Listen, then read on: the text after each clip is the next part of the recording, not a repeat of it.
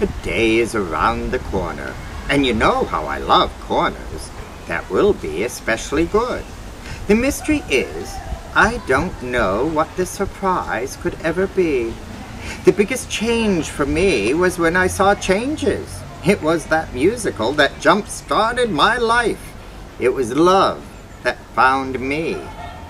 I have presence of mind and heart to make a start along the path with no corners.